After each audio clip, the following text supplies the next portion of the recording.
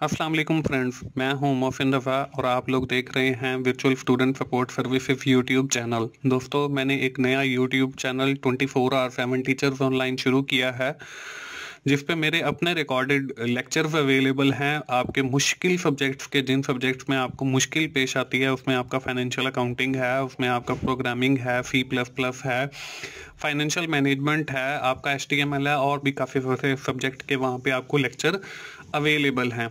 तो दोस्तों, आप www.youtube.com slash teachers online for you पे जाइए और मेरा चैनल सब्सक्राइब कीजिए और साथ बेल के आइकॉन पे क्लिक कीजिए और वहाँ पे जो लेक्चर्स अवेलेबल हैं, उनसे फ़ायदा उठाइए। दोस्तों, आज की जो मेरी वीडियो है, वो E C U four zero one economics का जो हमारा क्विज़ नंबर वन आया हुआ है, उस हवाले से है।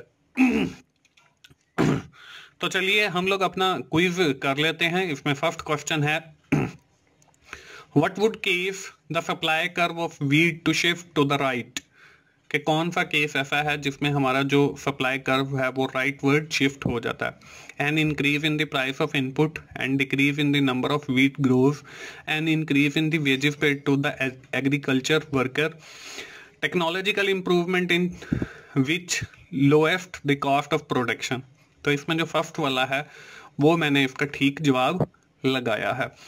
सेकंड क्वेश्चन है, Ehsan chappal store is leading shoes manufacturing company if quantity supplied of E C F shoes increase more than the increase in price then one can conclude that supply curve of shoes is elastic inelastic perfectly elastic and perfectly inelastic तो मैंने जो है इसका second वाला in elastic लगाया है। इसमें third question है जी whenever the supply curve shift to the new equilibrium is obtain by moving the supply curve moving along with the demand curve and moving both along the supply and demand का no movement along with supply and demand का।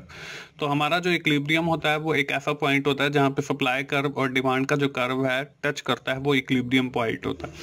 तो जब हमारा equilibrium point जो है, वो change होगा curve supply curve जो है, वो शिफ्ट होगा तो उससे जो है, वो हमारा डिमांड कर्व भी और सप्लाई कर्व भी शिफ्ट होगा। तो थर्ड वाला जो है, वो मैंने इसका ठीक जवाब लगा।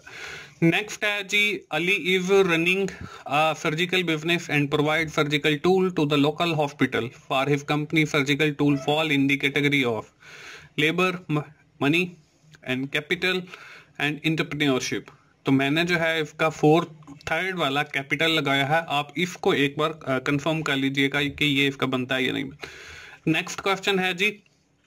The price elasticity of demand measure the responsiveness of the quantity demand to the income price output and total revenue तो हमारी जो प्राइस इलास्टिसिटी ऑफ़ डिमांड होती है उसमें एक तो जो है वो percentage change in quantity demand आता है और दूसरा जो है percentage change in the price आता है तो इसमें जो सेकंड वाला है वो इसका बिल्कुल ठीक जवाब है। नेक्स्ट क्वेश्चन है जी the value of services exchange through factor market each year is measured as national income है ग्रॉस नेशनल प्रोडक्ट है ग्रॉस डोमेस्टिक प्रोडक्ट है एंड नेट नेशनल प्रोडक्ट है। तो जो हमारा सर्विस एक्सचेंज की वैल्यू मैयर की जाती है इन ईच ईयर वो हमारी नेशनल इनकम के थ्रू की जाती है। तो इसमें जो फ़र्स्ट वाला है, वो हमारा इसका बिल्कुल ठीक जवाब है।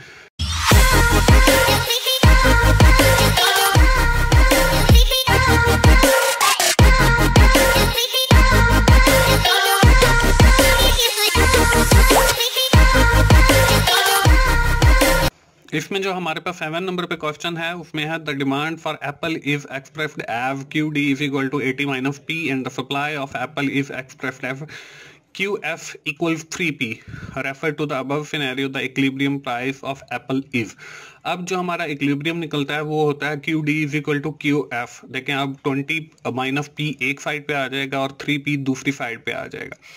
अब जब हम माइनस वाला जो पी है, वो दूसरी साइड पे शिफ्ट करेंगे इक्वल्स के तो वो हमारे पास फोर पी बन जाएगा और दूसरी साइड पे जो है हमारे पास एटी होगा।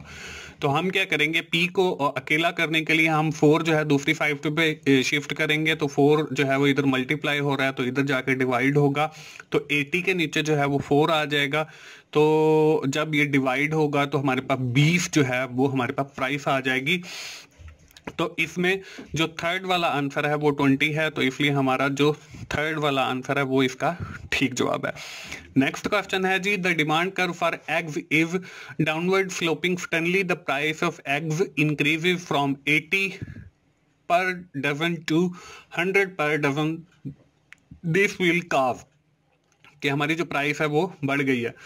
The demand curve for egg shift leftward कि हमारा जो डिमांड है कर्व वो लेफ़्ट वर्ड शिफ्ट हो जाएगा। Quantity demand of egg decreases the demand curve egg shift rightward quantity demand of eggs increases तो मैंने जो है इसमें फ़र्स्ट वाला the demand curve for eggs to shift leftward वो लगाया है।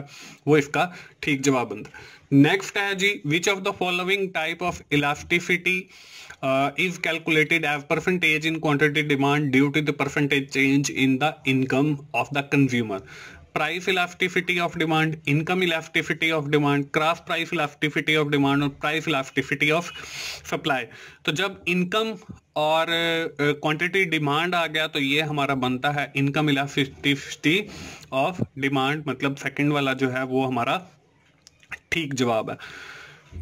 आखिरी क्वेश्चन है जी the rational person does not act unless the action is ethical marginal cost of an action exceed marginal benefit marginal benefit of an action exceed marginal cost.